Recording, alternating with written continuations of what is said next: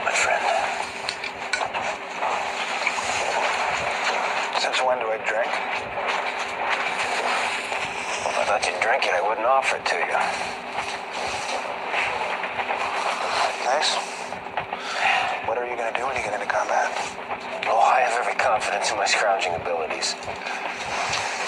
And I had a case of the Vat 69 hidden in your footlocker.